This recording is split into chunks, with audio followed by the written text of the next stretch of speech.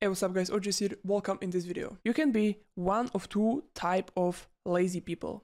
When you are doing nothing for all day, you are laying on the couch, you watching Netflix, nothing productive, basically nothing for yourself, just wasting, wasting time.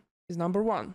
Lazy people, number one. And lazy people, number two, when you go to the work, when you're doing something productive, but you don't have time to, to go to the gym when you finish everything like 6 p.m. when you came from the work, when you play with a child or when you, when you play with a woman or I don't know, you are not motivated enough go to the gym after every single bullshit what you pass through the day. You know what I mean?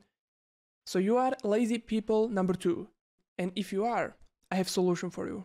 And solution is when you finish everything and it's 6 p.m., 7 p.m., you really wanna do something for yourself. Let's say everybody's sleeping, childs, women, you are chilling, watching Netflix, you know, easy peasy, and you are still motivated enough to do something for yourself. Set up your timer on 3 minutes and drop on the ground and make 5 push-ups. Click start. Lay in the couch, watch Netflix, watch YouTube, everything what you like. After 3 minutes, click replay and make another 5 push-ups. And another and another. And in 1 hour you are able to do 100 push-ups. After 5, you are not destroyed. You maybe can feel a little pump, but you're absolutely okay. When you can't do 5, do 3. When you can't do more, do 8. When you can't do push-ups, go on the knee and make make some press. When you can't do, you have something with your shoulders, make five squats.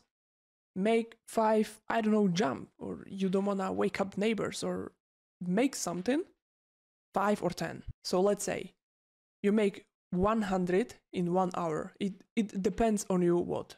And then you, you are making it from the Monday to the Friday, free week.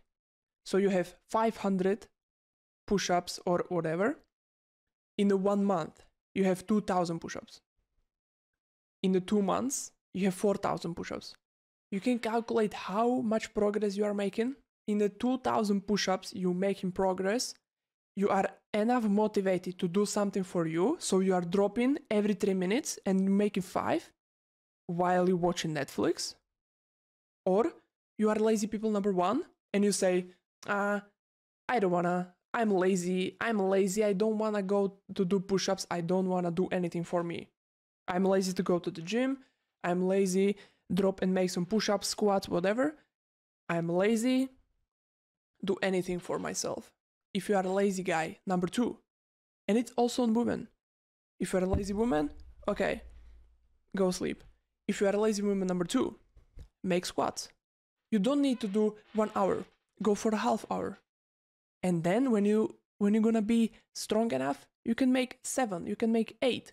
So it's everything is about how you how you press yourself. And you don't need to be like motivated because motivation is like not real. I have think what i need to do. It doesn't matter if i'm motivated or no. If i need to go to the gym and i am not feeling it ah uh, okay i still go. And most of the time that's my, that's my best trainings. When I'm not motivated enough to go to the gym, I hit my PR, something. Sometimes it's bullshit, you know. I need to go back, but I go on the treadmill, I go for the biceps and shoulders or something. But I go, I do something for myself. You know, when, when you're laying in the bed and you close in your eyes and you go to the sleep, you pray or whatever, you have it in your mind. Like, okay, it was excuse to not go to the gym. It was really excuse. I was able, I was not motivated, but I was able to go, but I didn't go. And you're sleeping and the like you have you have it in your mind like you was not in the gym. You lazy fuck. You know what I'm trying to say?